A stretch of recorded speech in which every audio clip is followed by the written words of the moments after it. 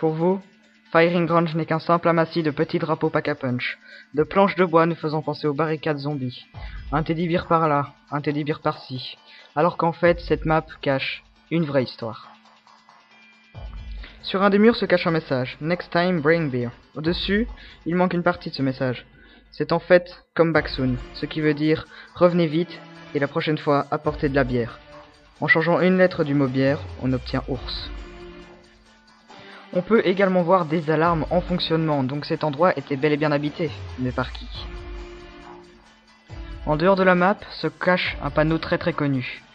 Et sur ce panneau, il est marqué Getaway to Hell.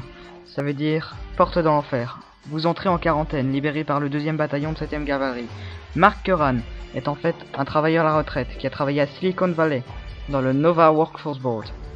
Mike Curran a le vertige, le rapport, je ne sais pas. En tout cas, il a travaillé au Nova. Nova, Aurait-ce un rapport avec le gaz? Je vous explique tout de suite pourquoi. En effet, dans Firing Range, il y a des douches, mais pas n'importe quelle douche.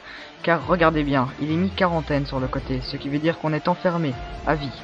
Et pourquoi? Eh bien tout simplement car à l'extérieur de ce bâtiment, sur le mur figure le panneau du signe Nova, donc le gaz Nova qui est tout à fait mortel. De plus, il est de nouveau marqué quarantaine sur l'extérieur de ce bâtiment, et à l'intérieur d'un autre bâtiment sur un tableau il est marqué douleur barré, donc pas de douleur. Cette zone était surveillée par l'armée car il y a des dortoirs à l'extérieur de la map et un Yui. Ce panneau m'intrigue également car dessus il est marqué Sur cette installation, tout le personnel et les propriétaires qui ont le contrôle sont sujets à des recherches usage de la force mortelle autorisée. Sur cette fenêtre figure un reflet étrange, on reconnaît clairement le bâtiment avec les radios et tout le contrôle à l'intérieur. Et pourtant, quand on va devant ce bâtiment, sur le mur, on ne voit pas ce reflet. Étrange, n'est-ce pas? Au pied de la tour, il y a une porte. Mais il faut un code pour l'ouvrir. Que cache cette porte? Qu'y a-t-il derrière?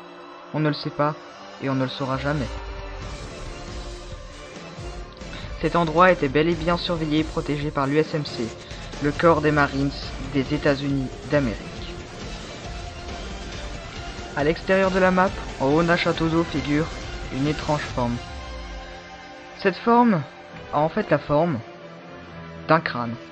Mais pourquoi? Y aurait-il des morts ici? Cela confirme mon hypothèse.